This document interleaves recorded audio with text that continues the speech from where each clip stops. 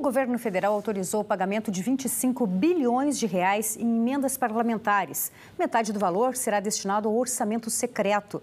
É mais uma tentativa de ganhar apoio no Congresso, principalmente no Senado, onde o Planalto acumula derrotas. Ciência.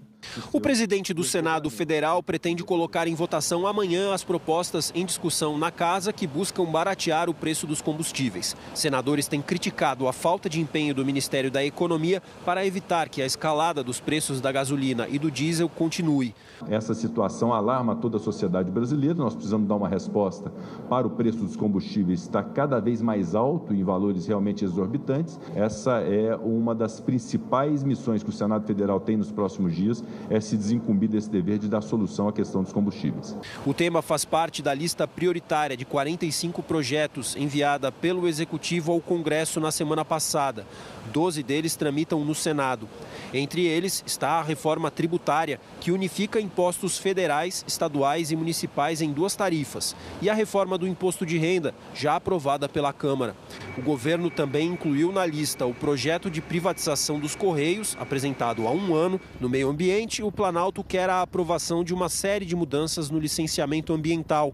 O conjunto de propostas é criticado por especialistas que acusam o governo de causar um retrocesso na proteção de biomas e de populações tradicionais. Na pauta de costumes, há ainda o projeto que prevê a ampliação do rol de categorias profissionais com direito a porte de armas.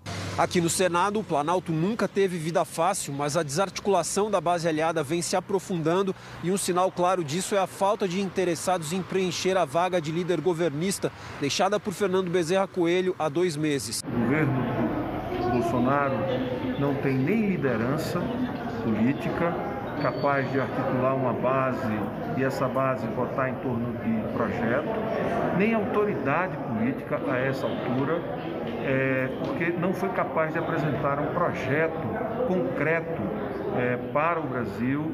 Para conseguir a governabilidade no Congresso, o presidente Bolsonaro aprovou a maior verba de emendas parlamentares da história. Até a eleição em outubro, serão 25 bilhões de reais liberados, 12 bilhões das emendas de relator, conhecidas como orçamento secreto.